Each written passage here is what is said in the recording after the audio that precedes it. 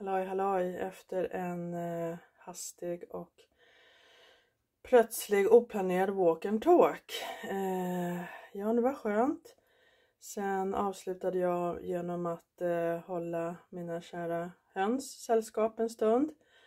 Och sen en sak som jag tycker är så skönt att ägna mig åt, som är meditation. En del kanske tränar på gymmet eller har något gåband eller någonting eller något hantverk. Jag älskar verkligen att skura, eh, att skura eh, diskhon. Ja, att skura diskhon eh, med någonting som luktar lite gott så att det blänker sådär fint och härligt och så. Ja, det är min eh, en slags meditation.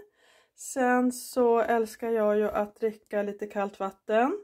Och min mästare som jag lyssnar på och tittar på och så eh, har rekommenderat ett jätteenkelt meditations...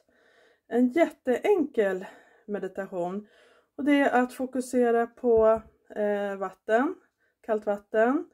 Fokusera på när du sätter den här eh, muggen till eller glaset till, eh, till munnen. Känn det här svala vattnet. Känn hur du får in det här svala, klara, eh, rena, goda vattnet. Och fokusera på hela, hela liksom drickesmomentet, om man ska kalla det för.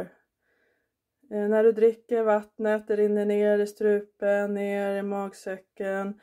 Eh, du kanske dricker några klunkar, fokusera på det väldigt, väldigt enkel meditationsteknik som min älskade mästare som eh, jag har hittat och som funkar så bra för mig. Det mesta som hen, eh, hen eh, säger och visar i olika filmklipp, webbinarier och så vidare eh, Eh, är helt fantastiskt. Allt, alla insikter jag har fått och allt jag har fått bekräftat som jag redan har vetat om sedan länge.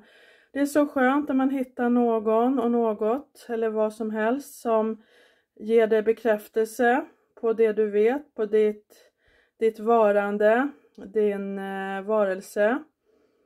Eh, när du får bekräftelse för den du är och det du har trott på, dina värderingar, då är det en euforisk insikt. Okej, okay, har du sett det bra? Njut av ett glas eller en mugg kallt vatten. Hejdå!